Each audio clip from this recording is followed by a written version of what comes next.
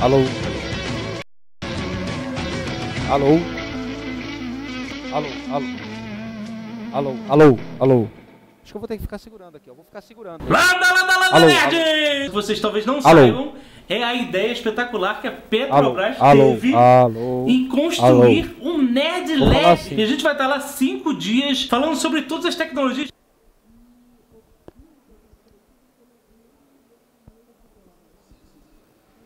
Aí, aí, aí. Acho que agora vai, né? Eu fico segurando aqui, não tem problema. E, e, e, e, e, Alô, alô, alô.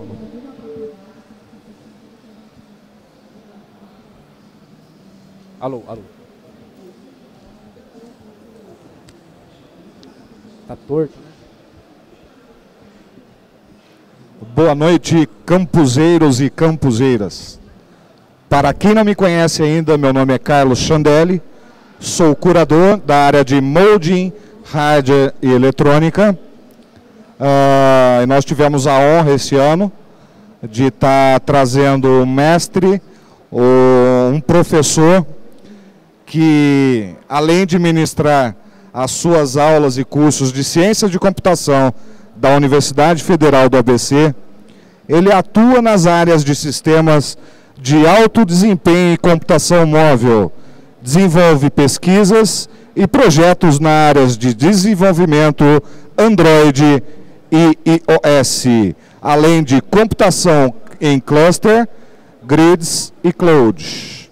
Então nós vamos compartilhar de alguns momentos ao lado do professor mestre Francisco Isidro Maceto e aprendemos com ele a acelerar, a fazer um ligeiro overclock nos nossos dispositivos móveis. Em nome do Campus Party do Palco Galileu, eu gostaria de saudar ao professor Isidro, overclock em Android. Obrigado, boa noite, sejam bem-vindos, boa palestra.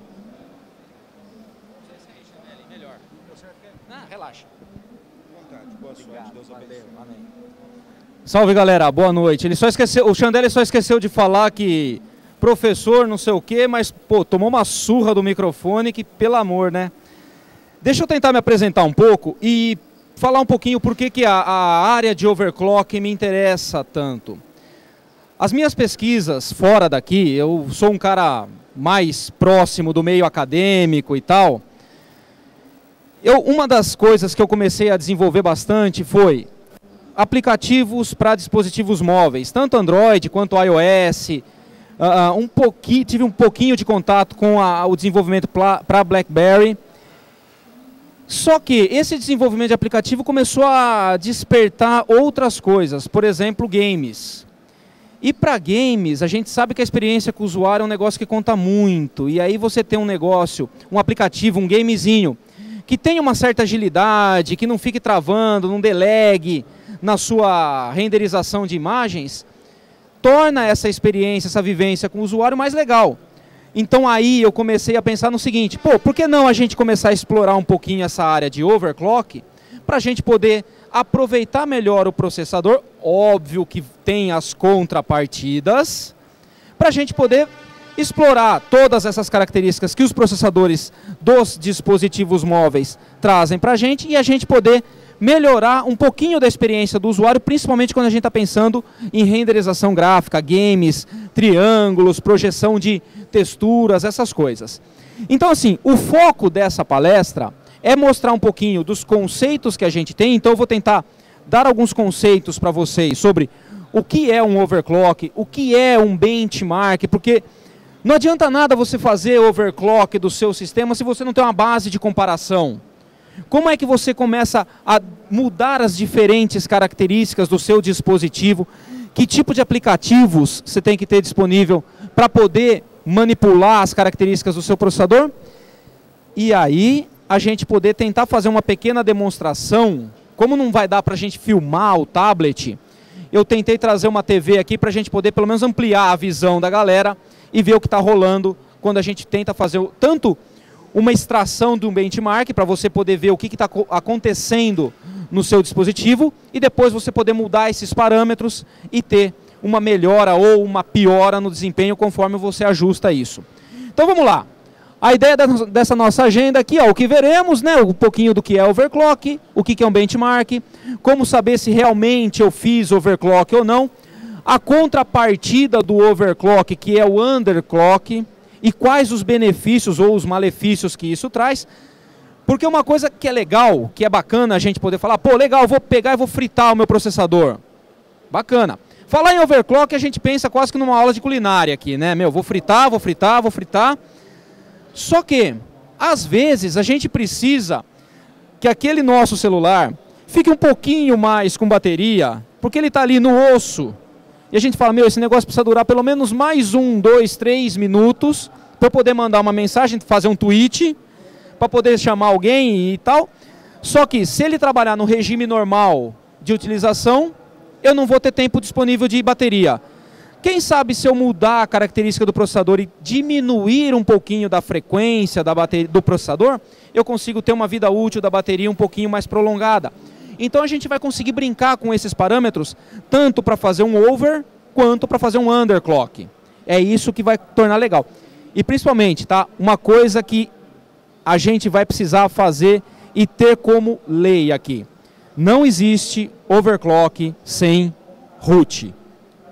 Tá? Então todos os celulares que a gente falar ou tablets tem que estar em modo root. E aí acho que é o, maior trabalho que a gente tem que ter. Vamos lá um pouquinho de aplicativos de benchmark, aplicativos de overclock e tentar fazer uma mão na massa, né? E aí eu, como eu pensei já em fazer, eu peguei o meu próprio tablet e comecei a tirar algumas estatísticas dele para poder mostrar o que, que ele é capaz e como que a gente consegue trabalhar com isso. Vamos lá então. Overclock. Basicamente e formalmente é você poder alterar o regime de trabalho de um processador diferente do seu padrão de fábrica. E aí vem uma questão que a gente começa a analisar.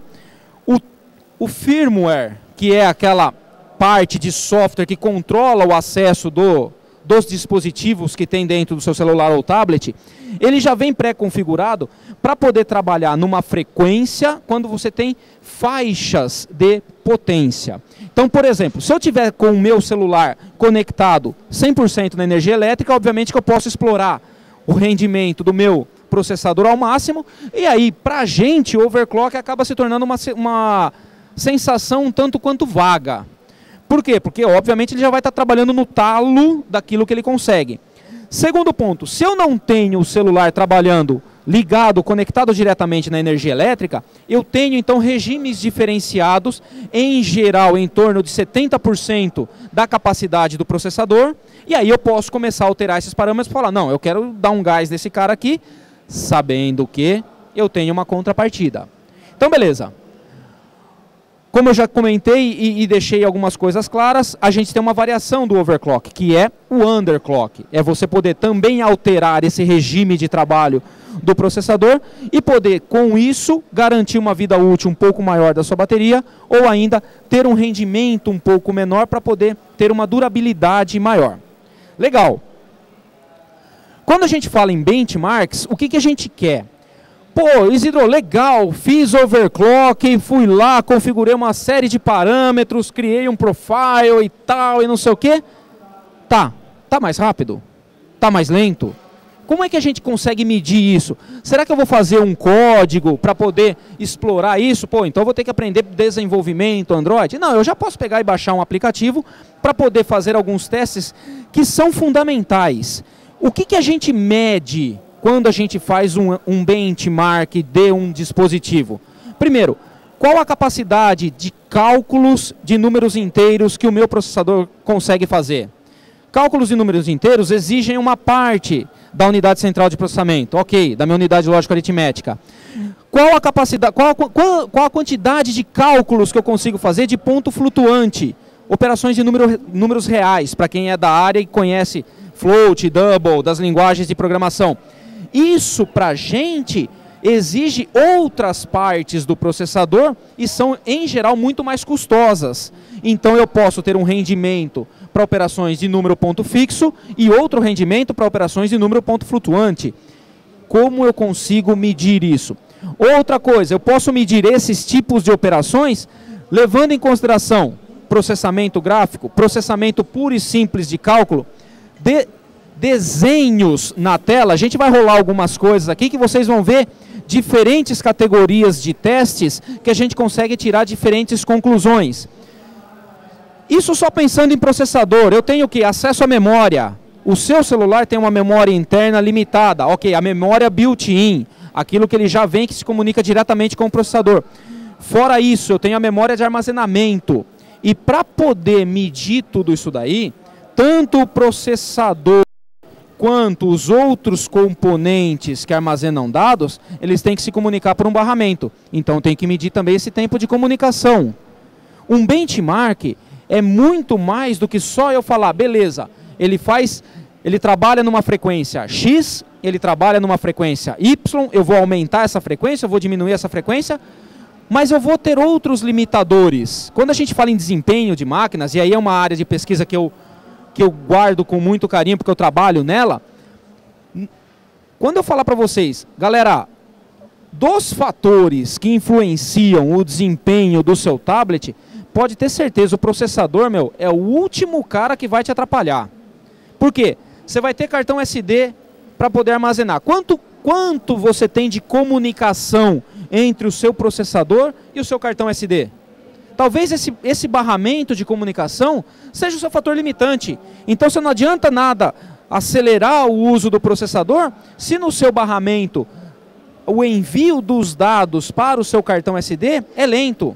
Você tem comunicação entre o seu processador e o acesso à memória interna. Se esse barramento também for um barramento lento, não adianta nada você acelerar o processador. Você não vai ter o ganho de rendimento que você gostaria. Então, para você falar, quero ter desempenho, quero fritar e quero ver o negócio explodir na minha frente, você tem que ter o quê? Uma combinação de fatores. O que a gente vai mexer aqui basicamente é o quê? Frequência de processador, mas a gente já vai estar consciente que não é só isso que vai fazer o seu celular tornar-se um supercomputador. Calma. A pegada é outra. A minha intenção era trazer tubos de nitrogênio, né? Fazer um negócio meio hardcore e tal, mas a gente sabe também que a pegada de overclock em dispositivos móveis, ela é um pouco diferente. Basicamente por um fator simples, óbvio e visível. Tudo é blindado. Então se eu quiser mergulhar o meu celular, o meu tablet, numa câmara de nitrogênio para falar, ok, vou refrigerar esse cara para ver se eu consigo aumentar a frequência, eu perco o touch. E aí eu não consigo operar o celular. Aí já era. Então tá bom. Vamos tentar entender então como que a gente consegue brincar com isso. Se a gente pegar uma tradução do Google, do Google Translator, a tradução de benchmark é basicamente o que? Referência. Eu tenho um parâmetro que eu quero comparar. O meu processador, o meu teste, ele é melhor, ele é pior, eu tenho um ranqueamento, eu tenho uma pontuação que eu posso dar para esse teste com determinados parâmetros, mudo os parâmetros, faço outro teste tenho outras pontuações. E aí eu começo a ver onde estão os meus problemas. Vocês vão ver junto comigo que processador é uma das últimas coisas que a gente consegue mexer. Então a ideia, quando a gente faz benchmark, a ideia é que a gente possa ter um processo sistemático para a gente poder imaginar como que a gente vai garantir que o nosso ajuste, ele começou a dar resultados. Então, para fazer overclock, o ideal é que a gente faça o quê? Meu, mudei um parâmetro, mudei outro parâmetro, testa, mudei outro parâmetro, testa de novo, mudei outro parâmetro e planilha.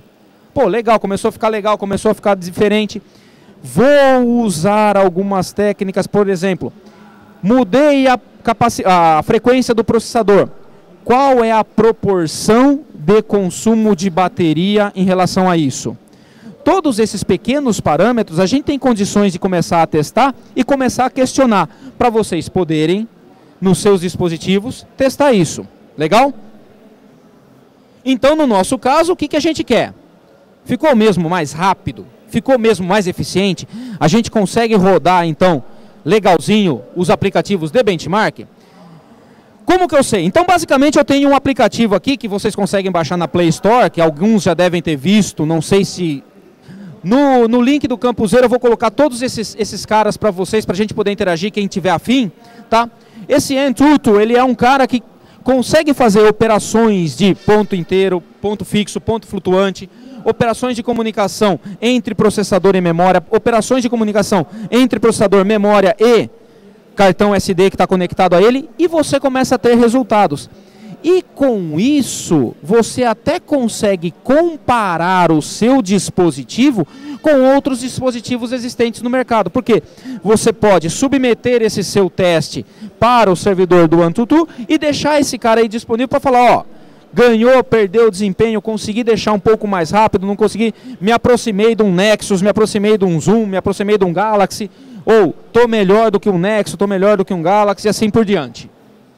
Então você consegue ter, por exemplo, o seu dispositivo mapeado nesses gráficos aqui e co poder controlar os seus parâmetros de teste a partir de um painel de controle.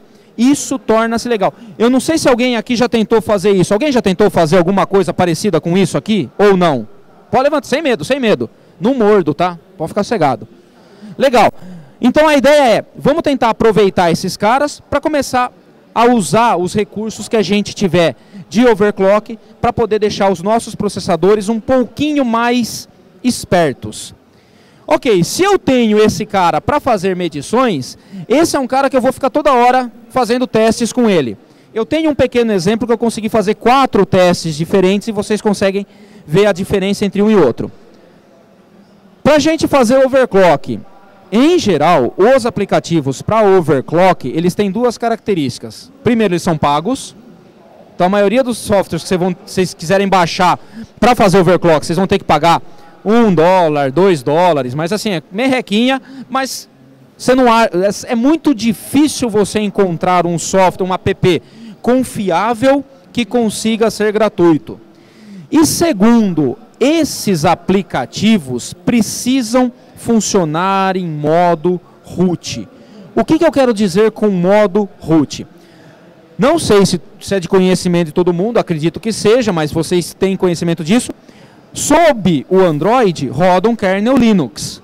Então todo mundo que tem um só um, um, celular com Android, um tablet com Android, tem Linux, tanto é que você consegue abrir um terminal e rolar os comandos do Linux dentro do seu tablet. Ok.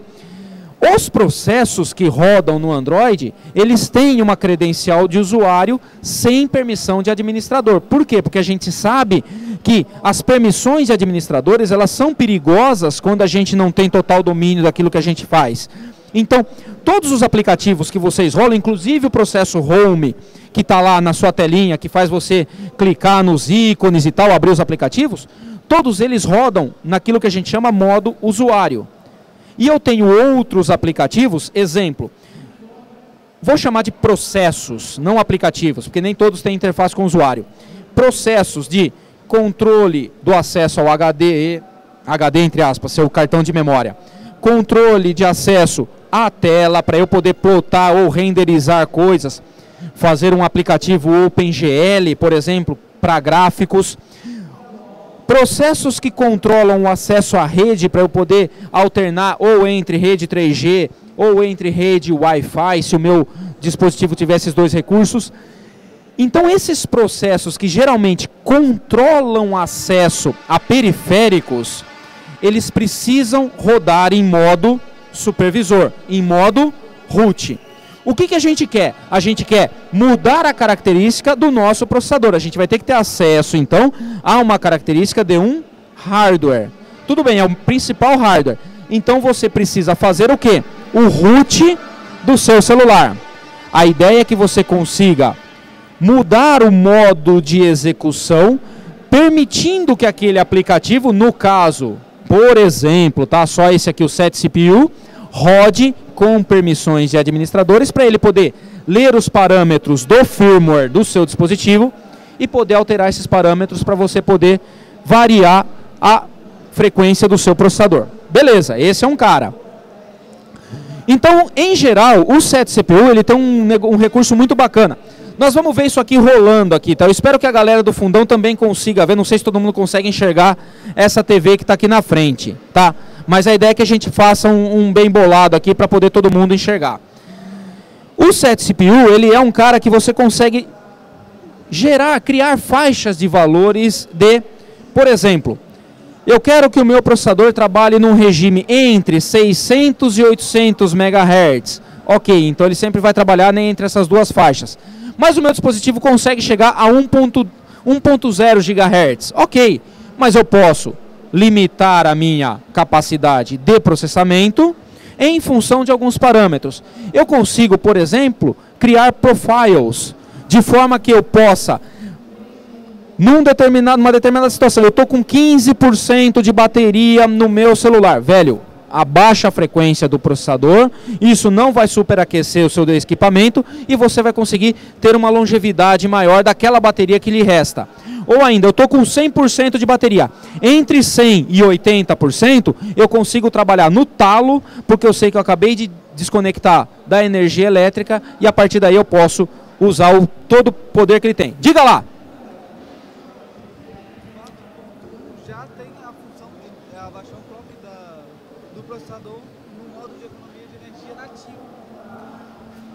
Seu nome, desculpa? O Matheus falou negócio. Isidro, o Android 4.1.1 de LBIM já tem um modo economia de energia nativo. Você abaixa a frequência. Ou e se eu quiser trabalhar no talo?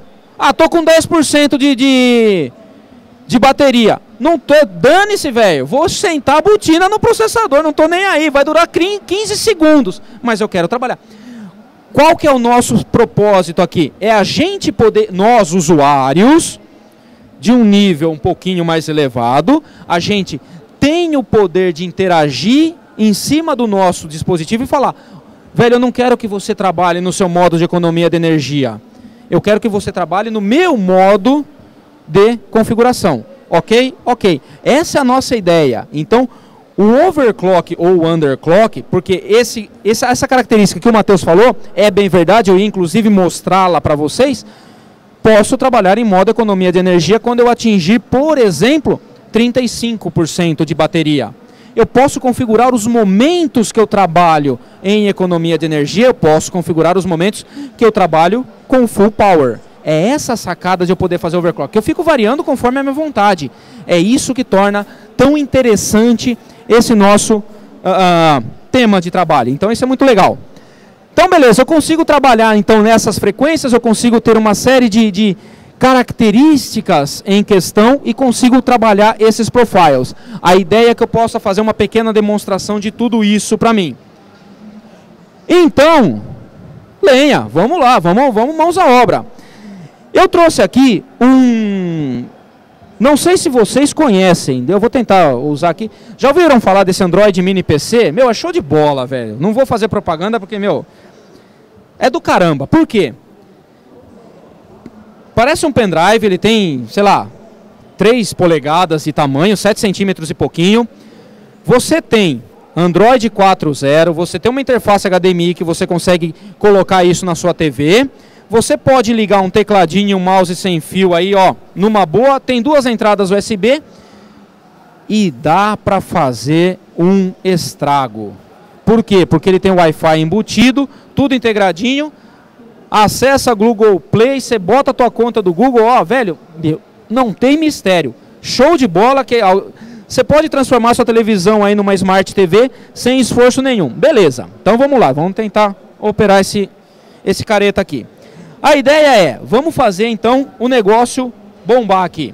Eu vou rolar o Antutu para a gente poder tirar uma pontuação disso. Esse cara em particular, eu não vou conseguir fazer overclock dele. Por quê? Porque ele sempre trabalha diretamente na no, uh, conectado na energia elétrica. Eu não tenho bateria nesse Android Mini PC. É outra, outra característica dele. Só que eu consigo fazer, por exemplo, underclock. E esse cara aqui tem uma faixa infinita de valores de frequência de CPU que eu posso trabalhar. Depois eu vou, eu vou até contar um teste que eu fiz é, lá em casa, meu, que deu raiva. Mas tudo bem, vamos lá. Esse é o cara aqui, vocês baixam ele gratuitamente, numa boa. Ele fala o seguinte, ok, para você fazer um benchmark do seu dispositivo, você não precisa de nada diferente de configuração. Para você fazer overclock, você precisa. Beleza. Esse teste aqui, ó, 2676, ele está próximo de um, deixa eu ver aqui. Ó, se eu pegar, ó, ele tem aqui, ó, comparado Optimus LG, LG Nexus.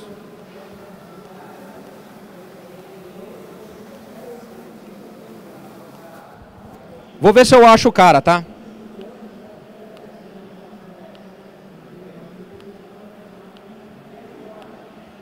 É em torno aí de uns 70% de um Galaxy S. Beleza. Tá valendo, né? É um negócio, né? Vem da China e tal, compra no eBay, pá. Por hoje tá bom, beleza. Vamos lá. Qual que é a sacada então? Vou fazer um teste. E aí eu gostaria de explicar os testes que esse cara faz. Vamos lá. Lenha. Ele começa a testar CPU e memória. E aí ele começa a fazer alguns algumas sacadinhas aqui que são bem interessantes. Deixa o cara testando. Demora. Pá, ó lá. Opa, pulou para 7%. Vamos lá, vamos lá. Momentos de tensão, hein? Não vai travar, hein? 14% e contando, hein? Força. Lucas, faz figuinha aí, faz figuinha aí, velho. Vamos lá. Cruza os dedos. 20, ó, testando o RAM. O que, que ele está testando? Ele está fazendo alguns cálculos com o processador, um loop de contas, está testando a comunicação de gravar e ler dados da memória, ok? Testando a performance com operações de número inteiro. O que, que ele faz? Uma série de cálculos com números só inteiros, que são cálculos mais simples, mais rápidos, que não exigem tanto do processador. E ele depois começa a fazer cálculos com o número ponto flutuante, e a partir daí ele começa a usar um pouquinho da parte gráfica que o processador tem. Esse carinha em particular, ele vem com uma GPU externa, ou seja, uma Graphic Processing Unit, uma unidade de processamento de, de elementos gráficos acoplada a ele. Quando ele faz o teste de performance de uh, cálculos de ponto flutuante, ele começa a fazer todos esses traços com androidezinhos para indicar o seguinte, ó, vou gerar um monte de retas aleatórias aqui e vou começar a plotar esses caras aqui para eu poder ter parâmetros de plotagem com RGB, plotagem com combinação e textura de cores em tons graduais, porque isso para mim custa muito caro em termos de processamento, exige muito do processador cálculos de frames por segundo, então ele faz uma pequena animação, ó, tá lá, e ele vai mudando a textura dos personagens, e vocês estão vendo essas mudanças aqui, para eles poderem ter diferentes variações. E aí, ó, um teste que ele faz somente com o objeto, isso aqui é um orc, né? Isso aqui é um ninja, para quem não, não conseguiu olhar. Esses caras aqui são aqueles objetos que a gente usa em computação gráfica e games, e isso é outro gancho que a gente pode dar. Para quê? Para poder fazer plotagem de personagens onde você compõe as partes desse seu personagem por triângulos. Então, esses testes, ele fala o seguinte, ó, 3.3 frames por segundo e 26 mil triângulos contidos na mesma cena como se eu fosse plotar um rosto e esse rosto fosse todo decomposto em triângulos, cada um com a sua textura e cada triângulo tendo três vértices, obviamente, né, um triângulo. E aí eu conseguindo fazer o quê? Traçado de linhas para cada um. O traçado de triângulos é uma das operações que mais exige do processador, porque eu combino duas técnicas. A primeira, operações de ponto flutuante, por quê? Porque todas as coordenadas x e y da tela do meu dispositivo gráfico, elas são calculadas em pontos flutuantes. E além disso, eu tenho que ter o traçado das linhas e o envio desses cálculos para o meu dispositivo de saída. Pode, pode parecer um negócio simples, óbvio, até meio tosco, mas a exigência que o processador tem nesse tipo de operações, por isso que nem todos os games são recomendados para dispositivos móveis. Quando você fala em games para dispositivos móveis, vocês já devem ter assistido várias palestras desse, de, desse tema aqui. O cuidado que você tem que ter com onde o seu joguinho vai rolar, ele é imprescindível. Por quê? Você faz um jogo super legal, muito bacana, só que ele só consegue rodar a contento em dispositivos top de linha que aí um dispositivo top de linha para o usuário final custa quase dois mil reais, o que torna inviável o seu jogo para ser disseminado no mercado. Então é um negócio que a gente tem que equilibrar. Então a gente tem que fazer algumas escolhas. Beleza. O último teste dele é a velocidade de cálculo, de, de escrita e leitura no cartão SD. Por quê? Porque essa comunicação aqui é a mais lenta. E esse é o grande ponto. Não adianta nada meu processador ser super, hiper, ultra, maxi, mega, robusto, se a comunicação dele com o cartão SD é lenta. Para eu poder carregar um aplicativo que está ali gravado, vai demorar uma eternidade. O processador vai ficar lá, meu, e aí? Vem ou não vem? Carrega ou não carrega? Tem continha para eu fazer ou não tem? Esse é esse feeling a gente só vai pegando quando a gente consegue fazer testes desse tipo. E olha só que legal. Não mudou muito, lógico, né? Muda algumas coisas, mas os valores em torno de 2.700. É a característica deste cara. Então eu consigo ter um dispositivo que tem esse ranking. Isidro, isso significa rápido ou isso significa lento? Isso significa que é 2.781. Ponto. Agora, se a gente mudar os parâmetros, será que a gente tem uma variação disso? Vamos ver, vamos ver o que, dá. Então, beleza, esse é o... Ah, só um parênteses, só um parênteses, só um parênteses. Pera aí, 2.781, correto, correto. Força. Vamos ver aqui, ó, nos nossos gráficos, como é que ele está. Se ele melhorou em relação ao Galaxy S.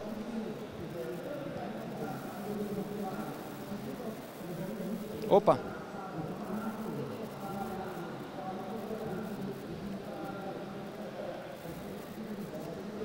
Não. Beleza. Então, ok, está valendo. O que significam cada uma dessas cores do gráfico? Se vocês olharem aqui, ó. Oh.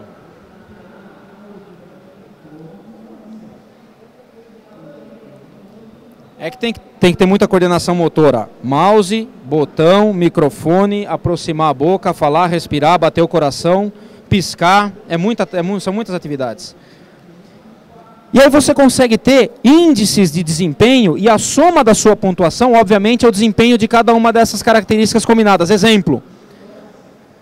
Velocidade de acesso à RAM, cálculos com números inteiros, cálculos com números ponto flutuante, Gráficos 2D, que no caso eram aqueles androidezinhos que iam para lá e para cá, é, sendo plotados na tela. Gráficos em 3D, uso do meu content provider para armazenamento de dados. Se vocês também sabem, já tiveram curiosidade em desenvolver alguma coisa para Android, o Android tem o SQLite, que é um sistema praticamente relacional de banco de dados aqui dentro. Beleza. SD write, SD read, ou seja, o meu cartão de memória que armazena, que faz o papel do meu HD, quanto a gente tem de pontuação. Essa pontuação é indicada em função do que? Velocidade de leitura escrita. Tudo bem? Numa boa? Vamos lá, vamos, vamos para o próximo. Vamos, vamos para as cabeças aqui. No caso do Antutu, eu vou medir e eu peguei esse 7 CPU aqui para olhar. No meu caso, o 7 CPU é um aplicativo extremamente simples e intuitivo. O que, que ele me diz aqui nessas duas faixas de valores? Qual é o regime mínimo, qual é o regime máximo de utilização do meu processador? Então, no meu caso, este processador trabalha numa frequência de 902 MHz máxima e 912 12, perdão, MHz mínima. De novo, por quê? Porque ele está ligado na energia elétrica, então eu tenho exatamente aquilo que eu gostaria. Eu vou setar um valor um pouco menor. Espera aí.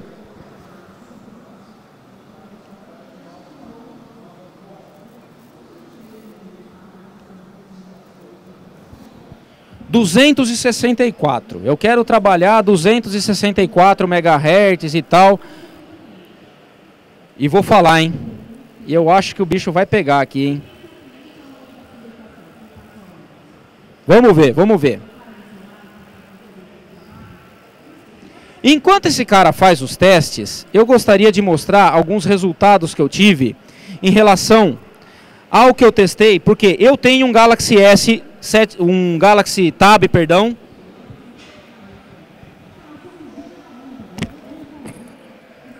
Deve ser conhecido de todo mundo aqui. Android 411, legal. Qual que é o grande problema desse cara aqui? Putz, eu não fiz. Meu, para overclock a gente precisa de equipamento de segurança. Por quê? É o seguinte, velho. Qual que é o princípio do overclock? Fala aí. Fritar, meu. Pra fritar? Porra. Ô, oh, tá louco, esqueci meu equipamento de segurança aqui, velho. E ele vai começar a fritar. Beleza. Qual que é a minha ideia aqui? Cadê o meu negócio de passar slide? Tá aqui. Olha que legal. Vamos ver uns, uns testes aqui que eu fiz. Com esse meu tablet aqui. Uma das coisas que a gente precisa levar em consideração. Eu tinha quatro faixas de regime de processador. 300, 600, 800 e 1008 MHz. Ok. Quando eu regulei o meu processador para trabalhar em 300 MHz, ele me deu essa pontuação. Isidro, é bom, é muito, é pouco? É uma pontuação. A ideia é que o benchmark seja um elemento de comparação com outras medições. Sistematicamente eu fui aumentando a frequência. Então de 300 MHz eu dobrei a frequência do processador e a minha pontuação não dobrou. Por que isso? Porque eu tenho outros fatores que limitam o processamento. Teoricamente, esse cara aqui deveria ir perto de 7 mil, se fosse proporcional. Novamente, você pôr o processador para fritar não significa que o seu resultado vai ser proporcional. Você tem acesso à memória, você tem gráficos 2D, você tem gráficos 3D, você tem banco de dados, você tem acesso ao SD. Beleza, mudei de 600 para 800, Ok, mudei em torno aí de 50%. Não veio 50% aqui, aumentou mais ou menos mil pontos. Qual que é a sacada disso? Deixa eu tirar meu equipamento de segurança aqui, pronto, porque agora não, já está rolando aí. Aumentou mil pontos. E nem, nem chegou a mil pontos. Meu, qual que é o grande segredo disso? De novo, eu aumentei muito a minha frequência de processamento para esse cara aqui, ó, ó de 300 para 800, eu ainda não consegui dobrar o meu patamar. E eu mais do que dobrei a frequência do meu processador. Aí eu pulei de 300 para 1008. Eu praticamente tripliquei, mais do que tripliquei a minha frequência de trabalho. Novamente, aqui eu consegui o quê? 100% de desempenho, comparativamente. Qual é o grande propósito de tudo isso? Vamos ver, vamos ver, vamos ver, vamos ver, vamos ver. Tá indo, deixa aí, deixa aí. Qual que é o propósito de tudo isso? Eu consigo ter uma ideia e essa curva aqui ela não é linear, ela não é proporcional. Força, força. Aí voltou. Essa curva aqui não é proporcional porque justamente não estamos medindo exclusivamente contas, cálculos. Estamos fazendo uma medição geral do desempenho do nosso aplicativo. Muito bem. Qual é o grande segredo que a gente precisa? Quando a gente tem um Galaxy Tab 2, por exemplo, ele não vem em modo root. Por quê? Porque todos os aplicativos, todos os sistemas Android que já vêm de fábrica, no caso pela Samsung, eles não permitem que eu consiga ter o que? Acesso superusuário. No, no link do Campuseiro, no campuz.ro, eu quero disponibilizar um tutorial para quem quiser fazer esse crack do seu aplicativo para poder trabalhar em modo root. O que, que é isso desse aplicativo? Você simplesmente autoriza, existe um cara chamado super user, você simplesmente autoriza o seu aplicativo 7 CPU, por exemplo, para poder fazer o quê? Usar as características do seu processador. Olha só que legal. Eu diminuí muito a frequência do meu processador. Ele saiu de 2.700 e alguma coisa para 1.800. Vamos aproximar os números. 2.700 para 1.800. Só que eu saí de 912 MHz e fui para 200 MHz eu baixei praticamente quatro vezes o meu valor, a minha frequência de processamento. Quanto eu consegui baixar aqui de uh, pontuação. Menos da metade, vai, vamos chamar assim, 30%, mil pontos. Percebam que não é só isso que define aquilo que você vai ganhar de desempenho. Processador é um dos fatores. E eu, com experiência suficiente para falar sobre isso, porque trabalho com computação de alto desempenho, é o menor deles. O que vai te limitar é todo o resto, exceto o processador. Vantagens, riscos, etc. Eu vou parar de falar porque eu já estou esgotando meu tempo. Só para a gente poder fechar.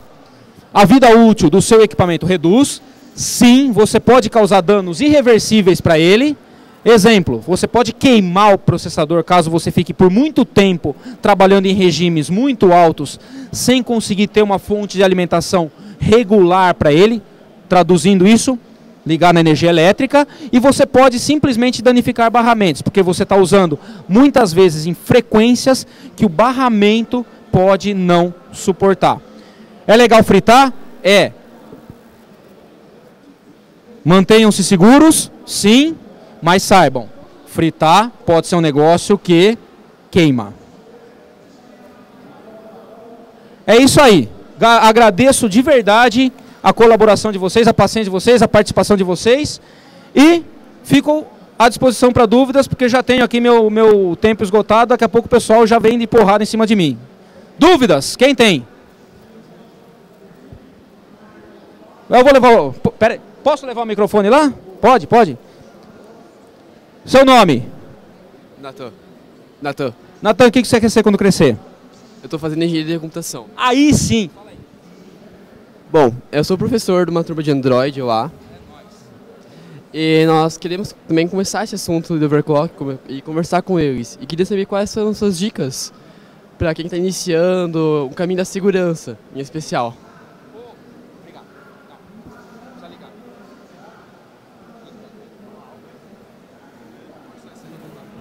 Relaxa. Isso é legal. O Natan também é professor de um curso de. Você está se formando em engenharia da computação, dá aula para uma galera de Android. Dicas em relação a. Quero iniciar nessa área de overclock. Antes de mais nada, a área de overclock é uma área que está intimamente ligada com análise de desempenho. O que, que é legal? Primeiro, você ter suporte de duas ferramentas. Uma que mede desempenho, outra que possa fazer essas alterações. Ideia básica: você vai trabalhar com Android e modificar as, os parâmetros do processador? Sim. Então, você tem um requisito para isso, colocar o seu dispositivo em modo root. Ok. Segunda característica: jamais trabalhe por tempos muito longos em regimes muito altos. Por que isso? É aquele negócio motor que você anda esguelando vai estourar rapidão. É o mesmo princípio.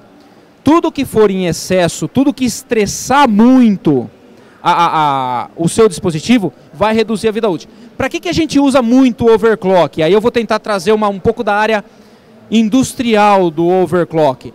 Puxa vida, eu gostaria de fazer um cara que possa servir como um terminal numa linha de produção.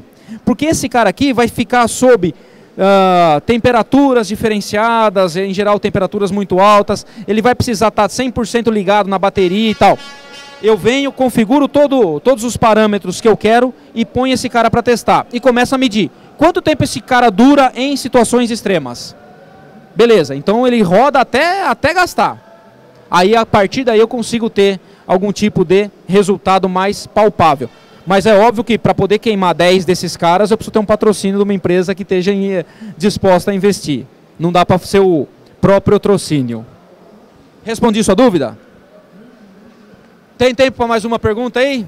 Fala aí, fala aí. Seu nome, seu nome, se apresenta aí. Meu nome é Anderson. É Anderson. Anderson. Bom, quanto a, a overclock, é, Sim. fora o processador, se for inventar de fazer alguma coisa, de torrar ele, é, se alguns outros é, barramentos do celular corre algum risco, tipo memória, ou até mesmo a bateria, por ter que deixar o celular ligado o tempo todo na, no carregador. Se isso tem algum mito de que a bateria vai viciar ou vir a perder Sim. muita vida longa? Aí depende um pouco da qualidade e, da, do tipo de bateria que você usa. Falar que as baterias não têm efeito memória é um pouco ilusão demais. Elas têm efeito memória, por quê? Porque as células que armazenam energia, elas vão se desgastando. Então a sua bateria tem um tempo de vida útil, por, falando somente de bateria, vamos supor. Você tem um tempo de vida útil dela. Qual que é o grande problema? O seu processador trabalha numa frequência muito alta. Seu barramento pode não aguentar. Seu barramento é limitado pelo, pela velocidade dele. Então, se o seu processador ficar toda hora tentando enviar informação, ele não vai conseguir, porque ó, é como se eu tivesse um cano de 12 polegadas, de repente jorra água nele e vem tudo fechando num cano de 5 polegadas.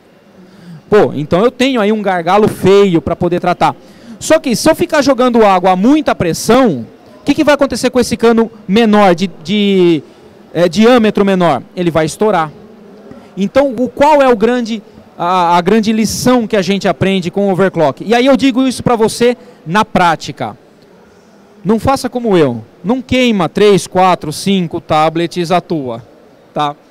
O prejuízo é grande, tá? Depois o cartão de crédito fica lá.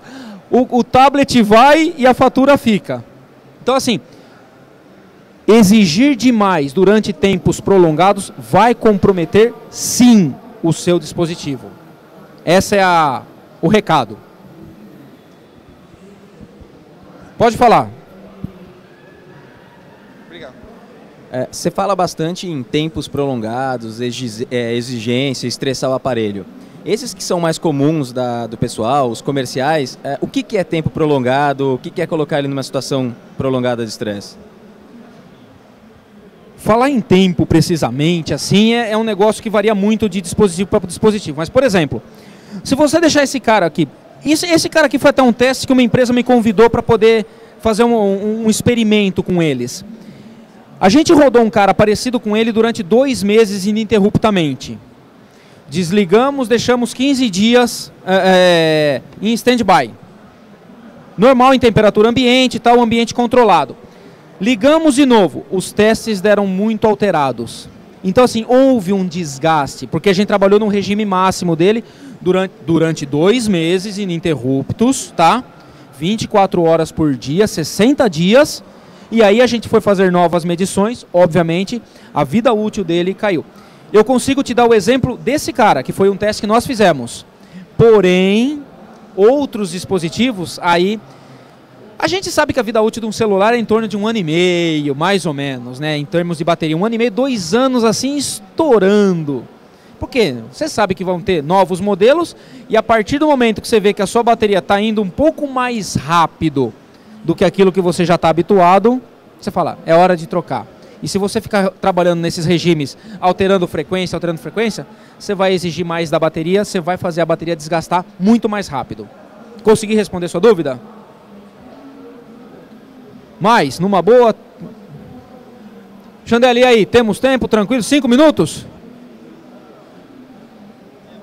Mais alguma, mais alguma aí? Tranquilo? Então, galera, mais uma vez, obrigado pela presença, obrigado à organização da Campus Party pelo convite, me sinto honrado de poder estar aqui com vocês. Juro que se quisesse, meu, teria acampado com todo mundo aqui, mas aí agora tem que voltar pro tronco, trabalhar mais um pouco, que a gente está em reposição de aula lá na Federal, etc, etc, etc. Mas, ó, parabéns para vocês. E, e, e, quem tem celular com Android aí?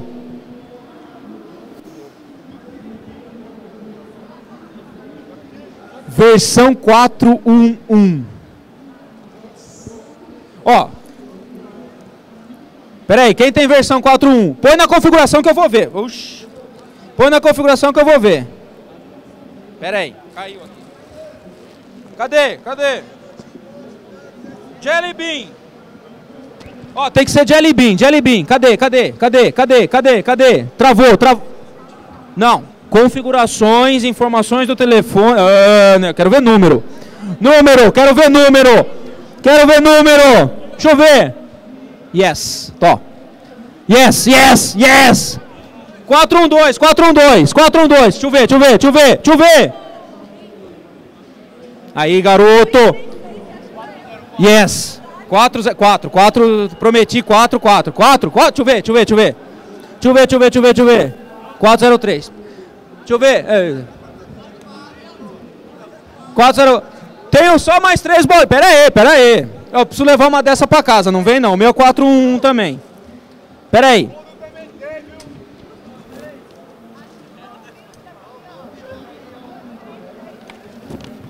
Vamos aí, vamos aí.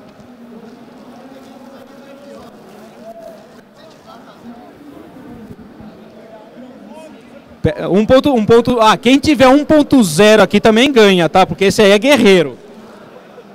Pega, pega aqui, velhinho, faz favor. Cadê, cadê, cadê? Porra, velho, nego fez... Obrigado. De brinde, porque foi honesto. Obrigado. 404. 404. Foi mal, foi muito forte, desculpa aí. Deixa eu ver. Ver, deixa eu ver. Seu nome? Dona Dulce, parabéns. Radical. Essa aqui é o especial pra senhora. É isso aí, é isso aí, meu. Hã? Tá valendo, tá valendo. Não, 2.3 não. Quem tiver 1.0 vai ganhar. Não, 1.0. Vou, vou dar mais um porque eu tenho, tenho que atender a galera de lá, senão vou ser injusto. Fechou. Não vou conseguir. Firmeza? Desculpa, de verdade. Deixa eu passar aqui pro meio aqui. Não, 2.6 não, 2.6 não. 4.6, pera. Não, não, não, 2.3 não. 2.3 com pontuação acima de 5 mil eu, eu, eu, consigo. Deixa eu ver, 403, 4... Aí, garoto. 4... Ó, falta o, o 2, 2, hein? Número, valor. Não, 4, 4. Yeah! Deixa eu ver. 4, 1, 2, pega aí. O último, deixa eu ver. Pagou. 4. Galera, é só, é só uma brincadeira para a gente poder interagir um pouco. Esses brindes aqui são cortesia da organização. Se eu pudesse, eu teria trazido um brinde para cada um, mas a organização tinha uma quantidade também limitada. Mais uma vez agradeço, valeu. Quaisquer dúvidas, Campo Zero. É nóis!